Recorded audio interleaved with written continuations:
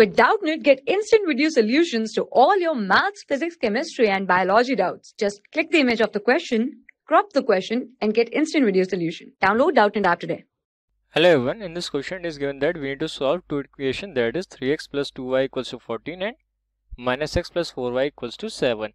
Okay, so let's solve this. Here you can see the coefficient of y is 2 and here coefficient of y is 4. So if I'll multiply this equation by 2, so let's write here this will be 6x plus 4y equals to 14 multiplied 2 is 28 okay? And let's write second equation as it is minus x then plus 4y equals to 7 okay?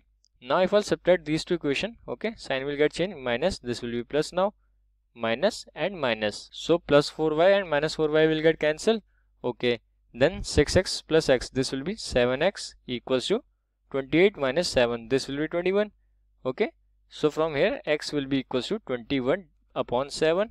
Okay, 7 multiplied by 3 is 21. So what we get? x value will be equals to 3. So we have got value of x that is 3. Okay. Okay, now let's consider second equation that is minus x. Okay, plus 4y equals to 7. This is the second equation we are having. Okay.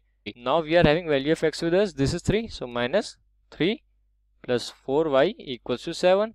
So from here we need to find value of y. So this will be equal to 7 plus 3 or we can say 7 plus 3 is 10. So y will be equal to 10 upon 4. Okay, so from here on solving this what we'll get? We'll get that value of y will be equal to 2.5. So x is 3 and y is 2.5. Thank you. For class 6 to 12, IIT JEE and NEET level. Trusted by more than 5 crore students. Download Doubtnut app today.